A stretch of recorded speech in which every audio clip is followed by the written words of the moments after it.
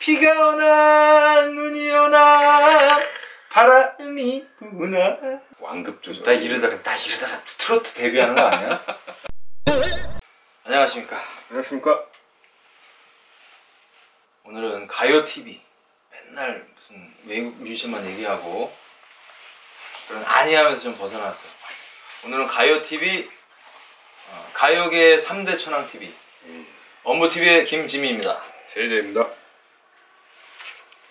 이 오늘은 좀 가요에 대해서 우리나라의 음악에 대해서 좀 얘기를 할 텐데 제이제이 씨는 대한민국 그 가요계를 통틀어 대한민국 음악이 시작되면서부터 지금까지 지금 방탄까지 해서 딱 세 명의 그 대마왕 끝판왕을 꼽자면은 누구라고 생각하세요? 아, 뭐 장르 불문하고요. 장르를 불문하는 거죠, 당연한 거죠. 그냥 개인적으로 좋아하는. 아이고 아니 개인적으로 좋아하든 아니면 아 이 정도 세 명이면 대한민국 가요계 세 명이다. 음, 팀이든 뭐든 음, 누구라고 생각하세요? 일단은 조용필 형님. 조용필 형. 용필이 형. 네. 그리고 개인적으로 아, 좀 애매하긴 한데 음. 들국화. 들국화. 우리 락계 그 저기 그 어, 창법 불량으로 금지가 되신 인건이 형님. 음. 형, 음, 들국화, 그리고 뭐 최근으로도 하나 뽑는다면은 트와이스. 트와이스. 역시 걸그룹 우리 야동 야동 JJ. JJ 야동에 어, 꼭 여성을 꼭 등장시키는 그것도 떼거지로 혼자가 아닌. 개인적인 취향입니다. 아, 그럼 하지만, 아주 좋습니다. 예. 근데 저는 이제 뭐제 사견도 있긴 하지만 그거보다는 그래도 가요 3대장 가요계의 이 지축을 흔들어버린 말씀하셨던 조용필 그건 뭐, 뭐 너나 나나 할 거 없이 우리 용필이 형은 반드시 들어가야 되는 것이고 용필이 형의 앞뒤가 있죠 그 뒤로는 우리 서태지 형님이 계시고 그 앞으로는 네. 현철이 형. 나훈아가 있다고 생각합니다. 그 현철이 형은 그 현철이 형은 손대면 톡하고 이, 이 현철이 형님은 좀 모자라. 응. 가요 3대장이 좀 모자르고 나훈아 형. 5분간 skill을 시전하시고 먹튀 하신. 우리 나훈아 형님 어, 조용필 형님. 그다음 서태지와 아이들. 뭐 아이들이 꼭 들어가야 되는지 모르겠지만 어쨌든 서태지. 그렇게 해서 저는 이제 세 명을 음, 꼽는데 저희 동네 형 현철이 형이 어, 그런 말씀을 하시더라고요. 저한테 개인적으로. 어, 미국의 유명한 어떤 가수가 소녀요, 넌 진실을 아는가? All you know is true? 이렇게 물어봤을 때, 어, 난 알아요라고 이렇게 대답을 했다. 답가를 보냈다. 이런 우리 동네 형이 이렇게 얘기를 하셨어요. 음, 그래서 아 이제도 음악은 주고받는 시대가 되구나. 음, 뭐 그런 걸 우리 현철 형님이 알려주셨는데 이건 뭐 지금과는 다른 이야기고 다른 주제의 얘기입니다. 뭐 교과에서도 실렸다고 하네요. 그 노래는 난 알아요가. 아 교과서에, 그래요? 네. 뭐 그거는 우리 현철이 형 노래가 아니면 다른 노래겠지. 뭐 어쨌든 어. 제가 아는 현철이 형은 그렇게 말씀을 저한테 어, 주셨다. 네. 어, 은혜를 저한테 내려주셨다. 어쨌든 그런 그 가요 3대장 나훈아 형, 용필 형님, 서태지 형 뭐 이렇게 해서 저희가 이제 그중 폼을 여신 우리 나훈아 우리 형님에 대해서 오늘 좀 이야기를 좀 해보면 어떨까. 네. 대한민국에서 어찌 보면 최초로 이 라이벌 구도라는 걸 만든 또 형님이시고 이 남진 형하고 그 다음에 어떤 지역 감정 크, 전라도의 남진 경상도의 나훈아 그리고 또 양분이 돼 있었고 두 분의 스타일 왜 갑자기 메탈리카 대 메가데스처럼 이렇게 라이벌 구도로 가는데 뭐 나훈아 하면 남진 형님을 또 빼놓을 수가 없으니까 두 분이 스타일이 많이 달라요. 남진 형님은 좀 호방하고 좀 약간 남성스럽고 도시적인 차도남 그때 뭐 그런 이미지셨고 또 엘비스 프레슬리를 표방했고 맞습니다. 예, 락큰롤 이런 쪽을 좋아했지만은 결국에는 뭐 트로트로 또 히트곡을 처음에 내신 그런 형님 나훈아 형님은 그런 것보다는 좀 목가적이고 시골스럽고 좀 우리나라의 어떤 정서를 대변하는 이런 노래와 창법 자체도 좀 약간 그 나중에 우리 이승환 형이 따라했죠. 아, 아, 뭐 이- 이런 이런 창법들을 어, 구사하신 우리 훈아 형님이신데 형님이 공연 하시는 거 아세요? 뭐 얘기는 2019년 예 5월달에 표구하기가 그렇게 힘들다는 이 구, 구하기가 힘든 게 아니라 오픈한 지 8분 만에 매진. 예, 3만 석 매진. 딱 되면서 뭐 이 벌써 안표가 막 돌아요. 따따블 따따따블 해갖고 개인적으로 저희 어머니도 어마무시한 어, 나훈아의 팬이신데 그 효도 선물로 저희 엄, 엄마한테 나훈아 티켓 하나 선물해주기가 굉장히 어렵다. 너무 어렵다. 그런 티켓 파워를 지니신 어마어마한 우리 형님이세요. 돈이 떨어지셨는지 뭐 갑자기 공연을 하세요. 보고 싶으신 분들은 안표라도 사서 보러 가셔라. 또 현장에서 보는 이 댐핑은 또 훈아 형님의 댐핑은 좀 다르니까. 저는 사실 그 전에 제가 정말 대한민국 뮤지션 중에 정말 아끼고 사랑하는 드러머 출신의 김흥국 형님 말고 음, 드러머 출신 김흥국 형님 말고 드러머 출신 배호. 리듬감 쩔어버리는 보사노바를 우리나라에 처음 또 소개하신 처음이라고 하긴 뭐한데 어쨌든 이, 이 공중파에서 자기 노래를 막 보사노바로 편곡해 부른 이 리듬감에 하신 저음부터 고음까지의 그 낭낭한 고음까지의 모든 걸 소화하신 우리 배우 형님 꼭 저 다룰 거예요. 이 배우의 배우 형에 대해서는 또 일대기를 제가 다룰 건데 이 배우 형님이 아마 이 심장이 안 좋아서 돌아가시지 않았다면 나훈아는 없었다. 저는 이렇게 믿고 있는 사람입니다. 그렇기 때문에 운이 좋은 형, 아주 운이 좋은 형, 뭐 조용필 형이랑 좀 달라도 태지 형하고 좀 기회를 같이 하는 형. 어, 운이 매우 좋으신 두 분들이다. 서론이 길었는데 나훈아 형님이 등장을 하는데 나훈아 형님과 남진 형님의 그 무슨 좀 약간 거시기한 그런 내용이 있어요. 일단 남진 형은 1945년생이세요. 공식적으로. 예. 몇 살인지 뭐 추산이 안 되긴 하는데 지금 음, 45년생. 우리 훈아 형은 50년생. 아, 그런데 한 번도 남진 형을 형으로 모셔본 적이 없다. 그만큼 자존심이 세신 경상도 사나이 상남자 사나이 중에 사나이. 우리 현미 누님한테도 한 번도 뭐 누나, 아줌마 뭐 이런 식으로도 불러본 적이 없고 야너왜 그렇게 싸가지가 없니? 그러면 아 뭐 뭐 저 알아요? 뭐 이런 식으로 반응했다는 그런 일화가 있을 만큼 엄청난 프라이드를 갖고 계신 요 건너 서라벌 고등학교 출신의 나훈아 형입니다. 그리고 우리 고등학생들한테 제가 한마디 하자면 우리 나훈아 형님이 엄청난 부자고 돈을 많이 버시고 대한민국 최고의 가수로 지금도 칭송을 받고 있는데 고졸이에요. 대학 안 나왔어. 열심히 자기 개발하면 얼마든지 성공할 수 있다. 응? 어, 그런 말씀, 꼰대적인 발언 하나 하면서 넘어가고. 어쨌든 66년에 천리길이라는 곡으로 데뷔하면서 뭐 엄청난 히트곡을 내죠. 추산하면은 최소 500곡에서 1000곡이 히트곡이라고 그러더라고. 거의 신중현 선생님의 귓방맹이를 날릴 수 있는. 그리고 노래방 이 음원 수입으로만 한 달에 5천이다.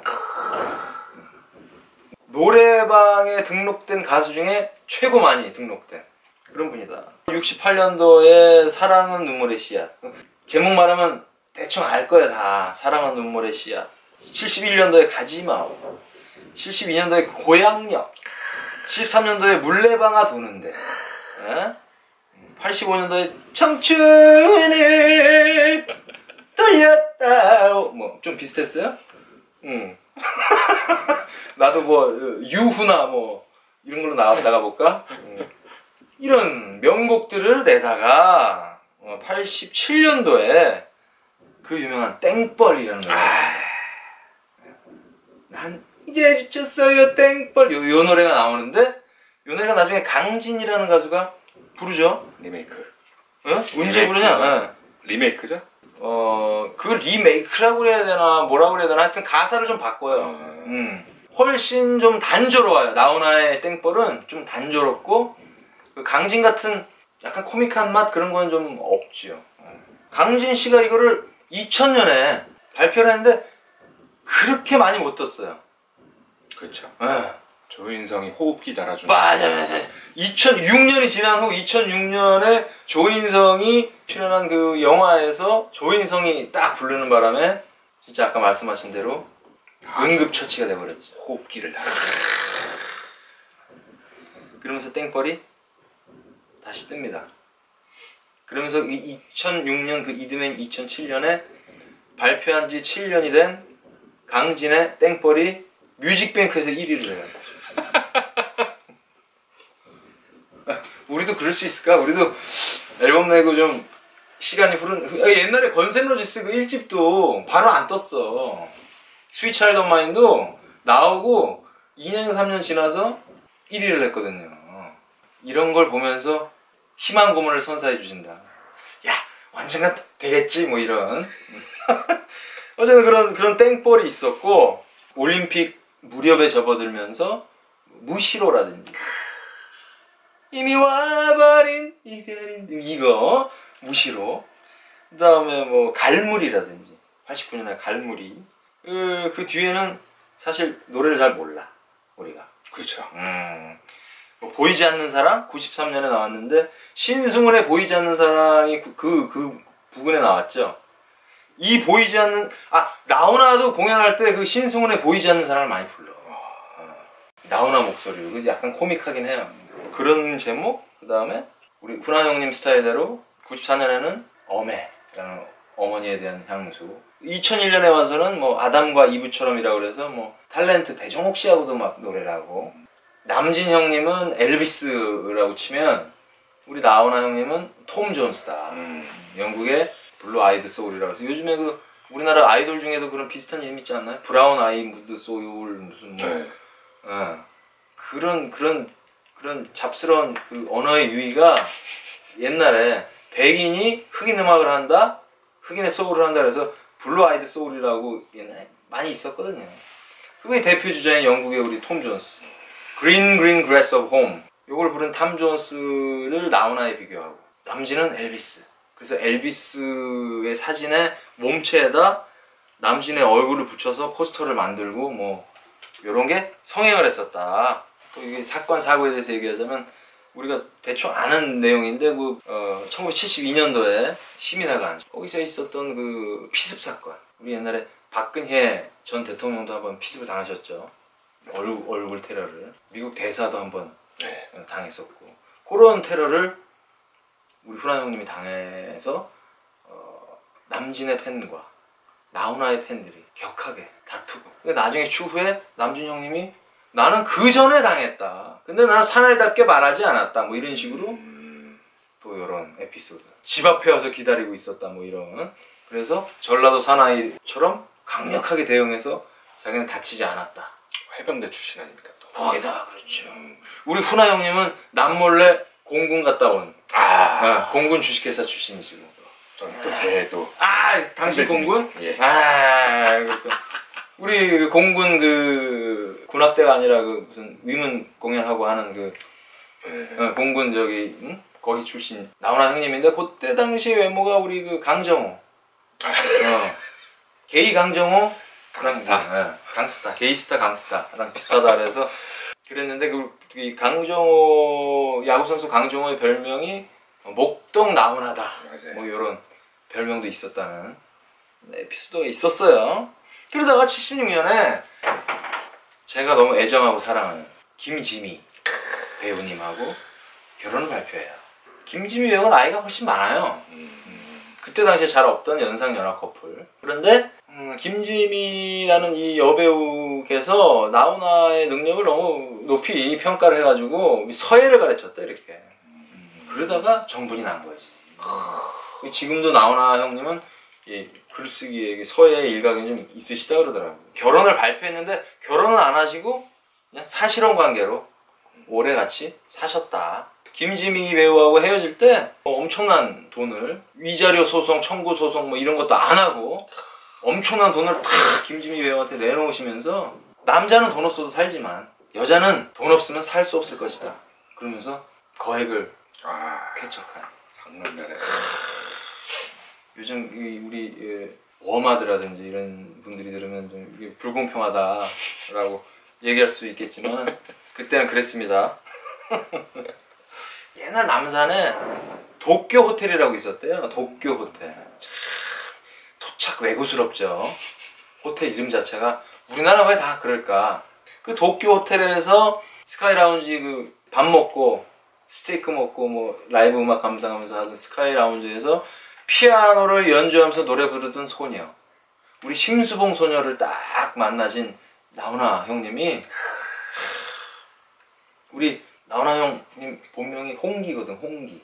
우리 엉덩이에 종기 자주 나서 나만큼 수술 많이 한 이홍기가 아닌 어 요즘 뭐 버닝썬 때문에 이름이 오르락내락 하죠 이홍기 씨가 그 홍기가 아닌 우리 나훈아 형님은 최홍기 씨다.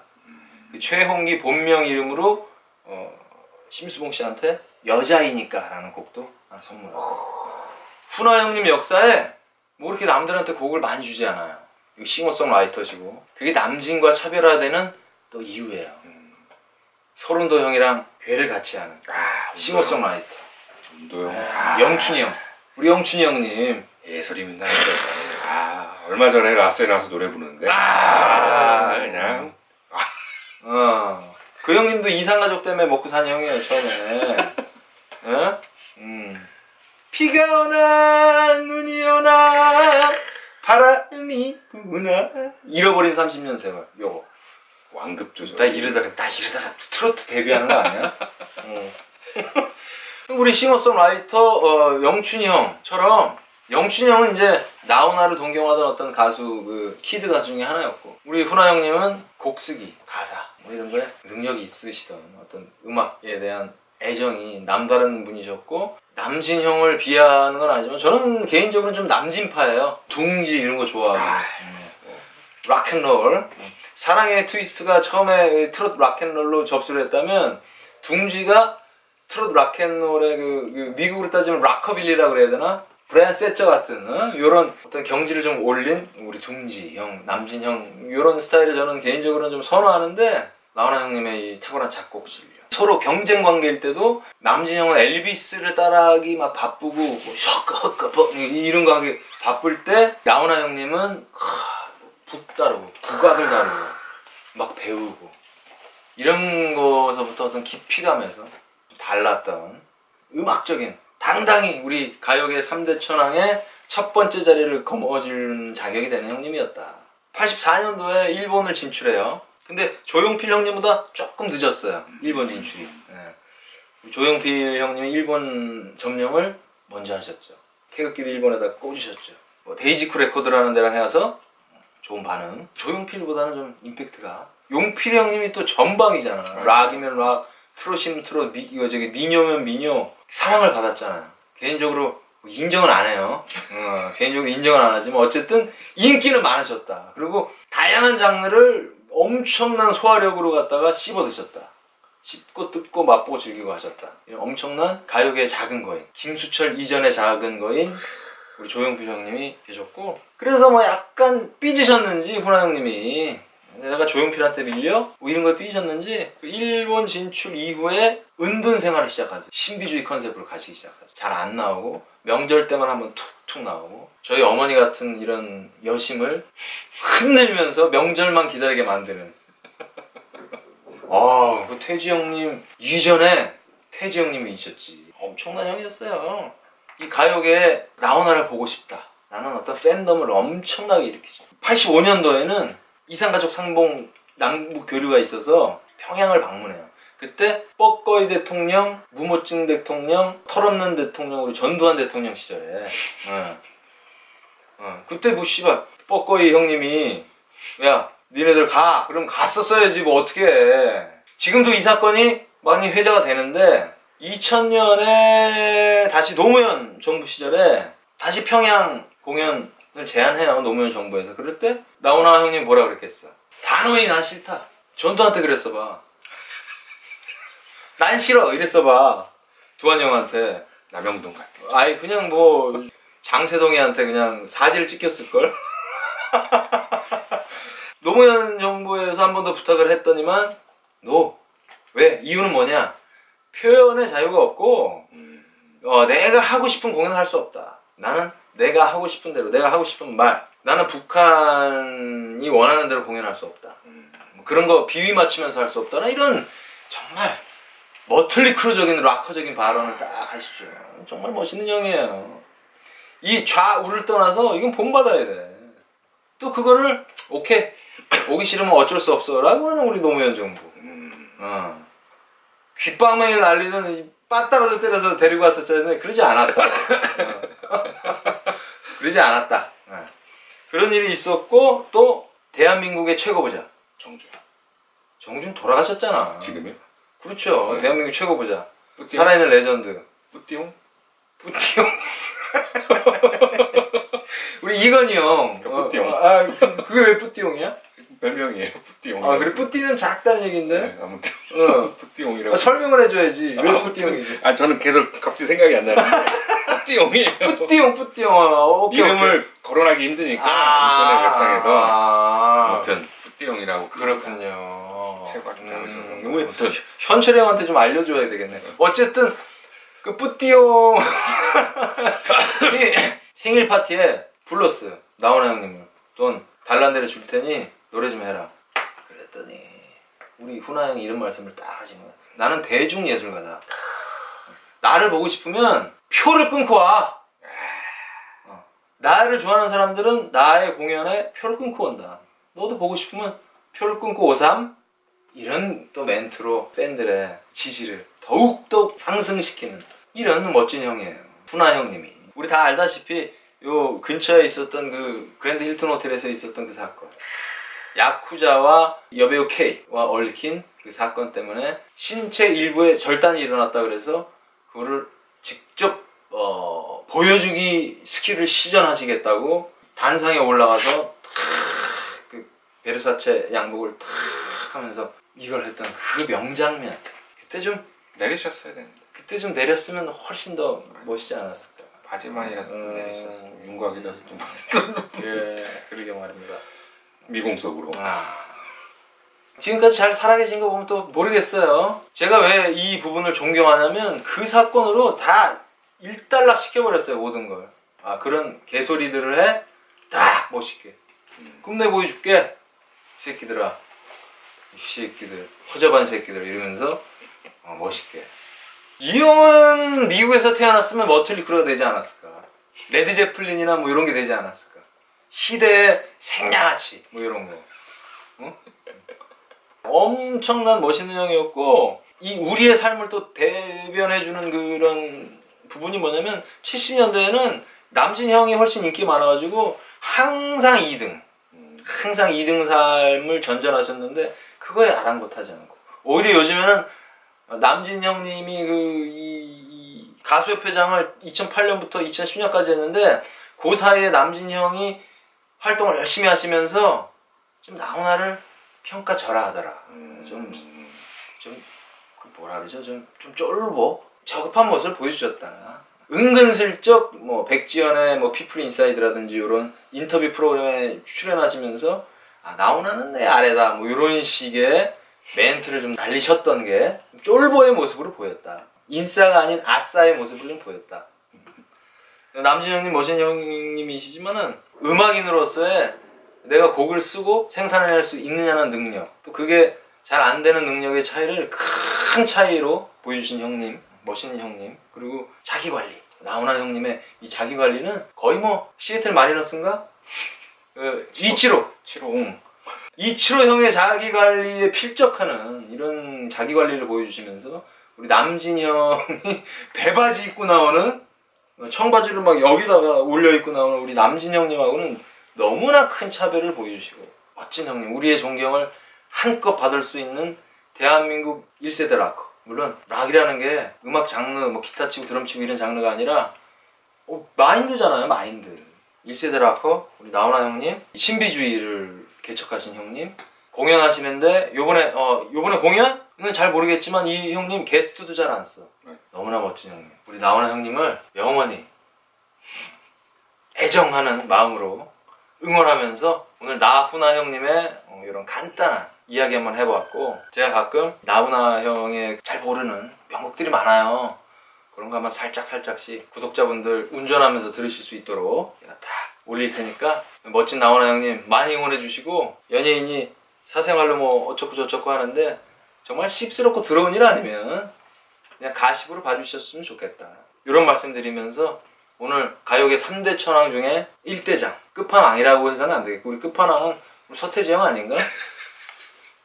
가요계 1대장 나훈아 편 이렇게 간단한 마무리하면서 인사드립니다. 업무TV의 김지미였습니다. 제이제였습니다. 오늘 한마디 안 해? 왜 오늘 뭐 기, 분이 우울해 너 오늘 사람 불편하게